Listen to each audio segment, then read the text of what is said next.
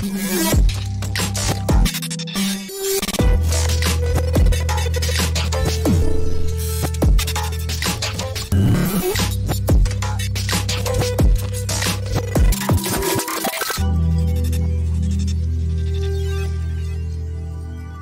primer álbum del vecino se publica en 2004 y ya, ya despertó el interés de ciertos productores. Y, ahí se, ya hubo después, sucedieron varios proyectos que nunca se hicieron. Y era cuando nos había olvidado, como muchas veces ocurren las cosas en la vida y otras también personales, ¿no? Cuando ya te has olvidado de esa historia, aparecieron, apareció la, productora que, que finalmente llevó a cabo el proyecto, ¿no? El Museo de la Salud surge a partir de una iniciativa del equipo de gobierno para tratar de poner en valor las colecciones que tiene el patrimonio de la Universidad de Granada relacionadas con la salud, en general con la medicina, con la farmacología. Yeah.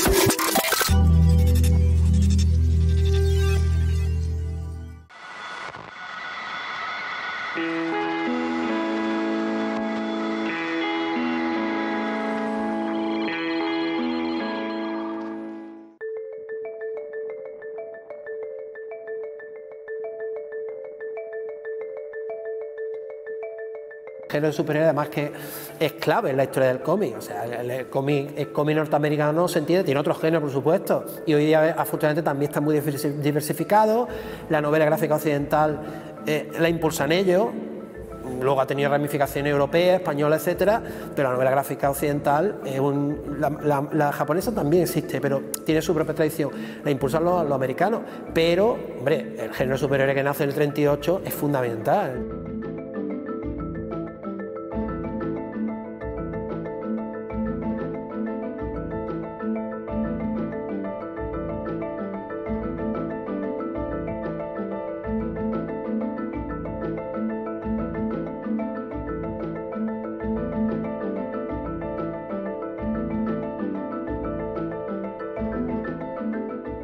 Mi interés por el mundo del cómic nace, y yo creo que esto es una experiencia común a, muchos colegas, compañeros de, esta disciplina, eh, eh, nace eh, de una manera muy, orgánica en la infancia. O sea, nace leyendo los TV de la infancia. En mi generación, mm, digamos que crecimos, crecimos, era, una, era, era todavía importante como como medio de comunicación, medio de entretenimiento, eh, era todavía un medio de masas, ¿no? Eh, y no existía internet, eh, yo cuando era crío no existían ni siquiera los videojuegos, por lo menos aquí en España, la televisión era, yo, yo, cuando era también niño la televisión todavía era en blanco y negro, en la mayor parte de los hogares, etcétera, es decir, había muchas menos fuentes de entretenimiento. Entonces era natural, una fuente natural de entretenimiento y al mismo tiempo también de, enseñanza, pues claro, es la lectura que, yo, como muchos compañeros también de generación, muchos niños de mi, de mi, de mi quinta, digamos, eh, crecimos así, o sea, leyendo libros y te veo también, ¿no? Muchas veces sin jerarquía.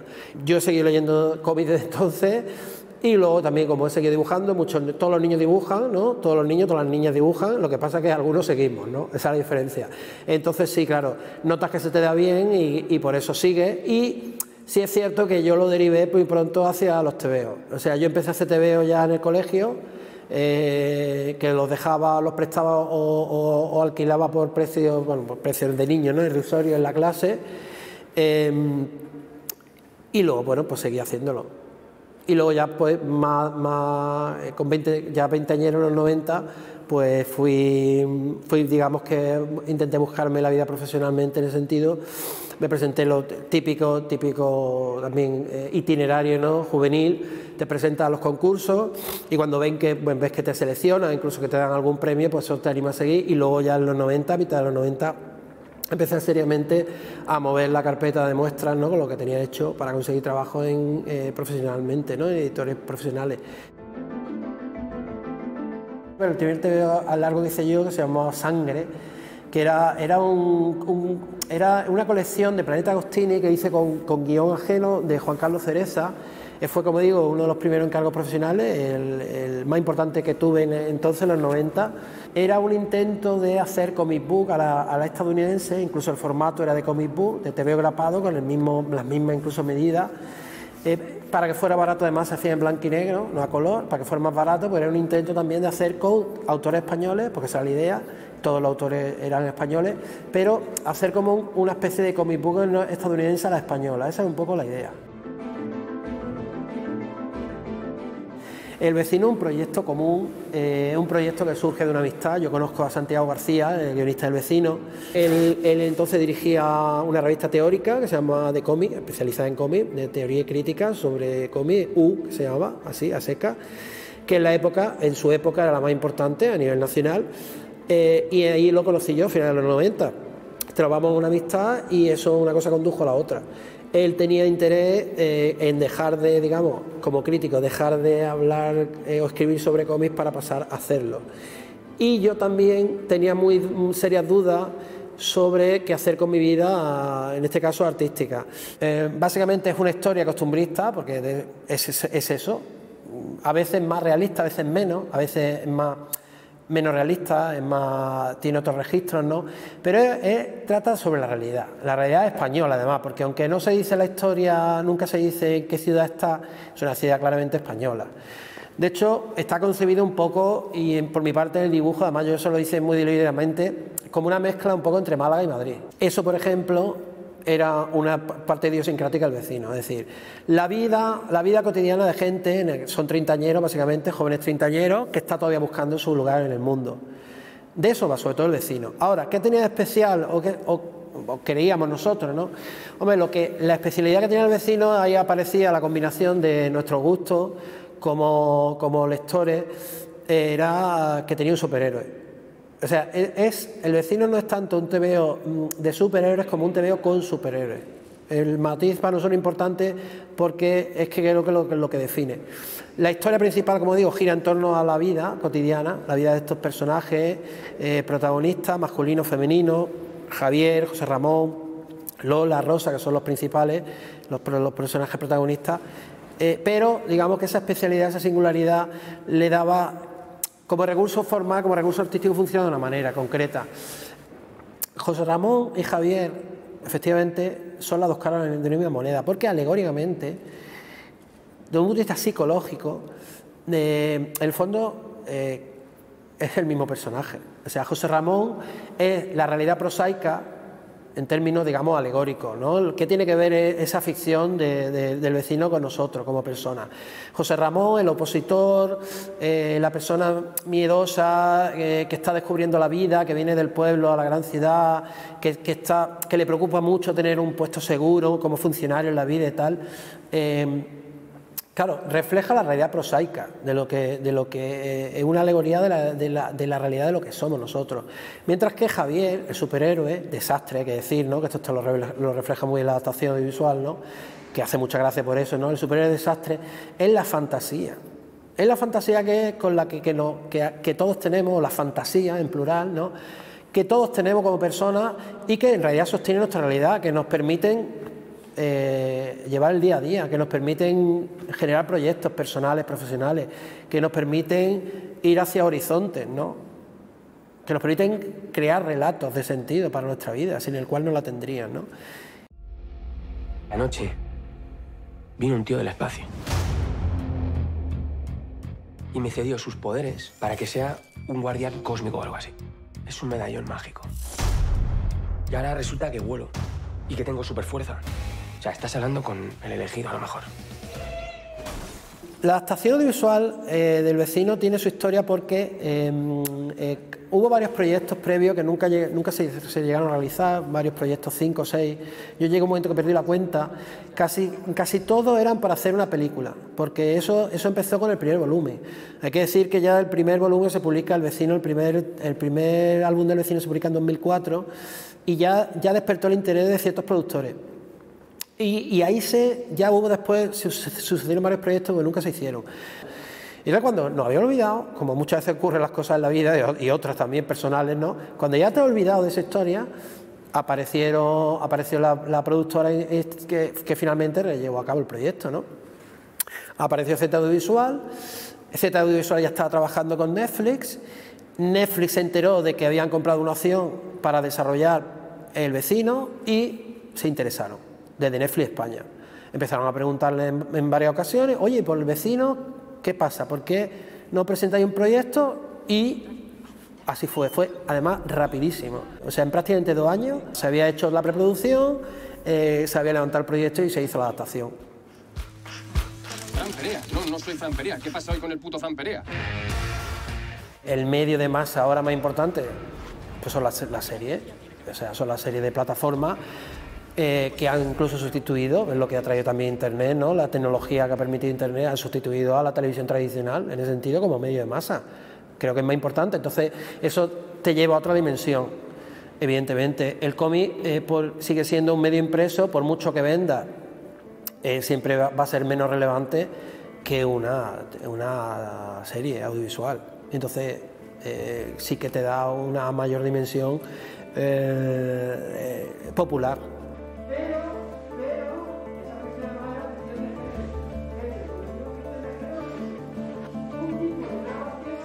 Hay una mayor demanda creciente, además, cada año, cada curso se ve de, estudiantes en la Facultad de Artes que están interesados en, dirigir su, su, vocación artística al cómic y que además hay una asignatura que tiene mucha demanda.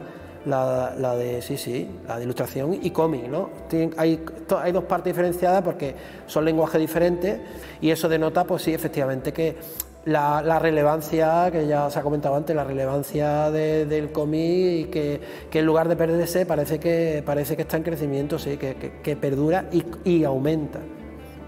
Hay muchos alumnos también, alumnas, que cada vez más, cada año, que están haciendo sus trabajos de fin de grado también eh, de cómic, de cómic novela gráfica. ¿no? Insisto, la novela gráfica no es algo extraño al cómic, es cómic eh, pero digamos es un cómic más, más enfocado sobre todo a los adultos. ¿no? Es que el, cómic es un medio muy interesante como espectador, como lector. No ya me refiero como creador, sino como lector, porque es un medio que requiere, que requiere eh, em, imaginación del lector. O sea, es diferente, es diferente en este sentido al audiovisual, bastante diferente. Eh, la elipsis que tiene entre viñeta y viñeta, no, te, no digo ya si, si, tú como, si tú como autor empiezas a meter elisis temporales enormes entre, entre una y otra, ¿no? pero entre viñeta y viñeta, esa calle, la calle en blanco, ¿no? que hay entre viñeta y viñeta, es una elipsis que el lector tiene que comprender con su mente. El propio dibujo, que es una fuente de placer visual, ¿no? Como forma artística, el dibujo. Eh, es, son, creo que son formas que siguen siendo relevantes como culturalmente eh, eh, para la humanidad en general. ¿no?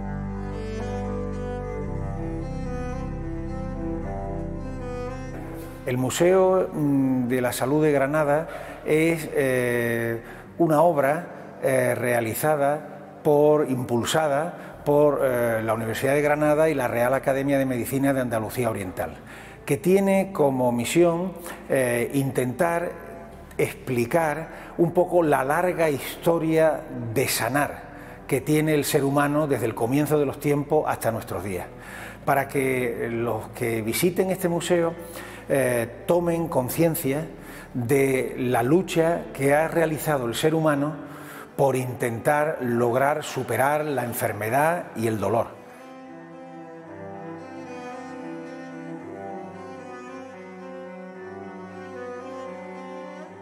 El Museo de la Salud surge a partir de una iniciativa del equipo de gobierno para tratar de poner en valor las colecciones que tiene el patrimonio de la Universidad de Granada relacionadas con la salud en general, con la medicina, con la farmacología.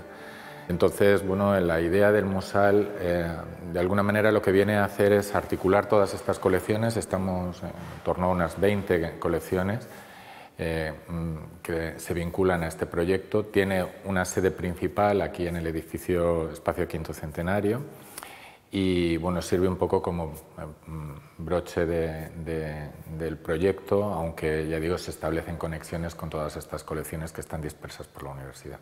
El museo está dividido en cuatro partes, en cuatro secciones. La primera son las fuentes del saber médico.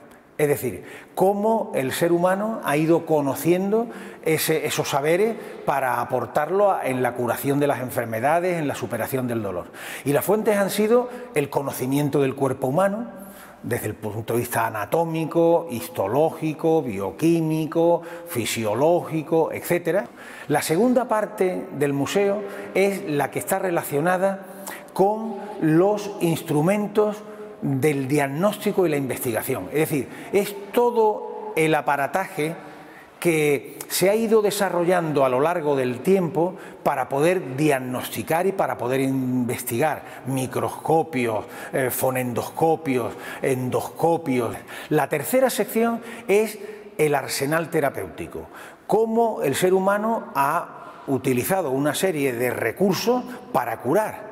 El ser humano ha curado pues con la cirugía, y aquí hay toda una evolución de instrumentos quirúrgicos desde la época romana hasta la época más reciente y eh, pasamos después, junto con unos vídeos, la reconstrucción de un quirófano, a la cuarta sección que es la medicina y la sociedad, porque ni el médico ni el enfermo viven aislados están viviendo, eh, viven en una sociedad. Y entonces estudiamos y vemos, observamos allí, pues un poco la evolución de los hospitales en Granada, como a modo de ejemplo, y desde los primeros hospitales, pues hasta los hospitales más recientes.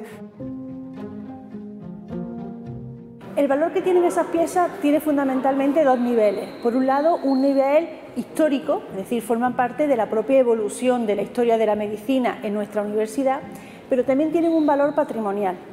Desde el Vicerrectorado de Extensión Universitaria y Patrimonio, y específicamente dentro del área de patrimonio, entendemos el concepto de patrimonio de una forma muy amplia, muy abierta. No nos centramos exclusivamente en el patrimonio histórico-artístico, sino que el patrimonio científico ha sido uno de los grandes retos y una de las grandes apuestas que hemos tenido en, en estos últimos años.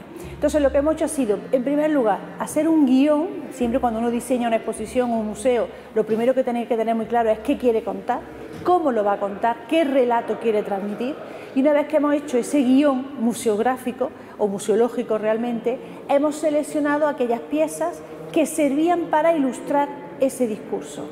Han sido piezas que muchas veces han tenido una utilidad académica, bien docente, bien investigadora, lo que pasa es que con la evolución de las técnicas y, del propio conocimiento, muchas de ellas se han ido desplazando y reemplazando por otras más novedosas. Esto, mm, de alguna manera, lo que demuestra es que ha habido un interés ya desde, desde hace tiempo por mantener estas piezas, aunque hayan dejado de ser útiles, y bueno, han alcanzado ya una resignificación, ¿no? en este caso más patrimonial, no tanto académica, y bueno, han venido siendo pues, mantenidas por los departamentos y mostradas a sus estudiantes también un poco pues, para eh, poner en evidencia la evolución de, de toda la ciencia que, que, de alguna manera se ha venido desarrollando en torno a ellas.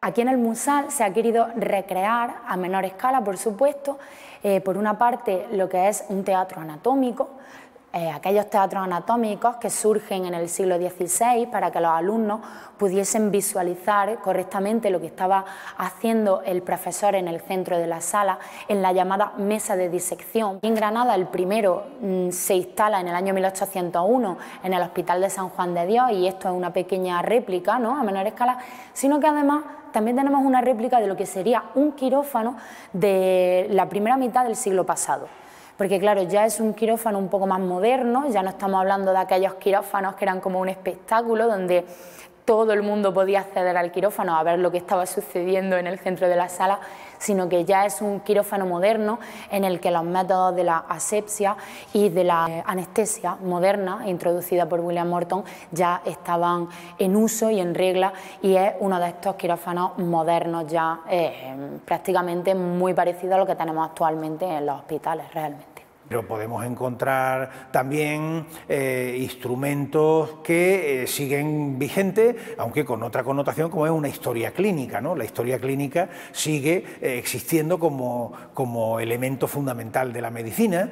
existen aparatos de rayos X que ya no se están utilizando, existen pues, dispositivos de fármacos que ya no, se están, no están en, en uso, pero que es importante conocer para ver esa evolución a la que he hecho referencia con anterioridad. Algunos de los espacios que estamos eh, musealizando pues están vinculados también con esa, con esa labor que en su día se desarrollaba aquí. En este caso concreto, pues este aula es un aula que mantiene un poco el mobiliario que, en su día tuvo la, facultad y en elementos también que se utilizaban para la docencia y forman parte del, bueno, del proyecto museológico que hemos desarrollado.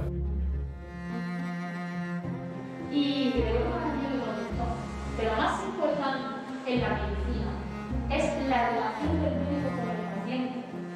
Que el paciente se siente en la silla y que el médico escuche lo que le está diciendo el paciente. La silla de Gregorio Marañón, que es muy importante para la historia de la medicina, sobre todo en este pasado siglo XX, porque claro, eh, Gregorio Marañón fue el médico eh, pensador y humanista por excelencia del siglo pasado.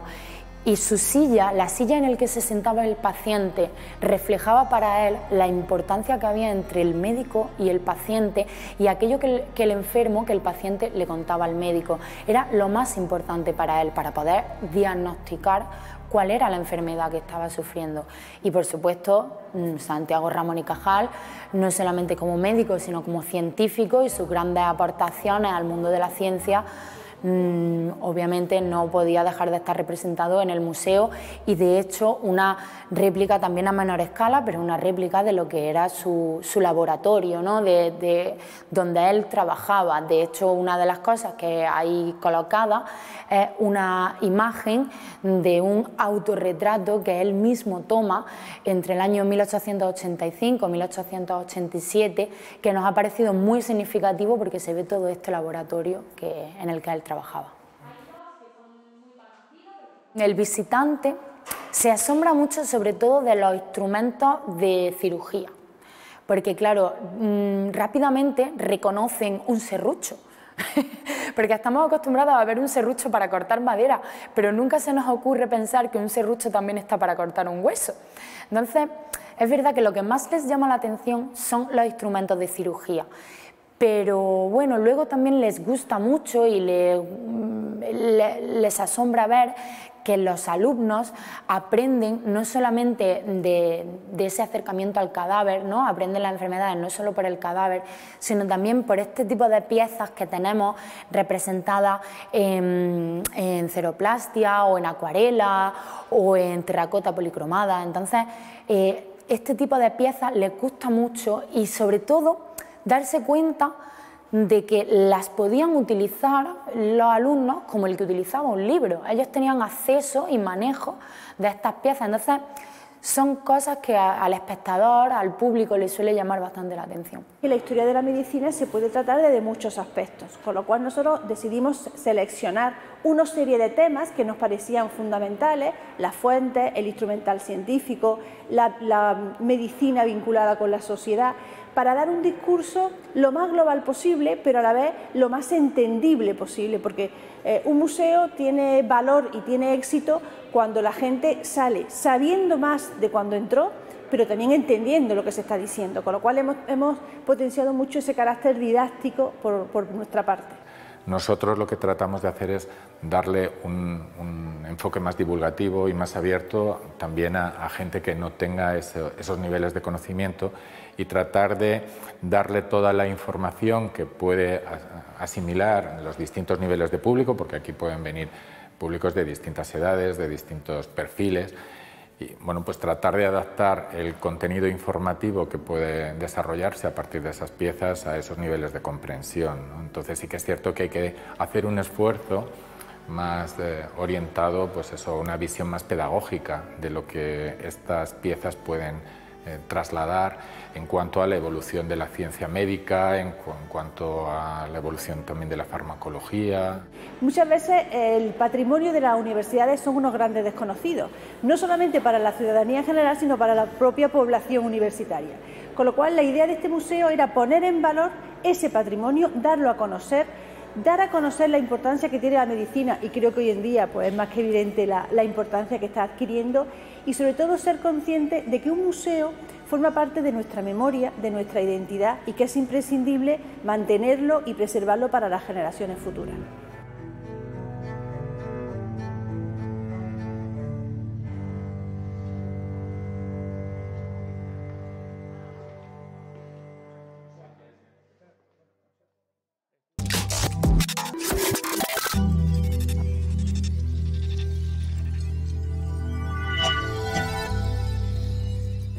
El, cómic es un medio muy interesante como espectador, como lector. No ya me refiero como creador, sino como lector, porque es un medio que requiere, que requiere eh, em, imaginación del lector. O sea, es diferente, es diferente en este sentido al audiovisual, bastante diferente.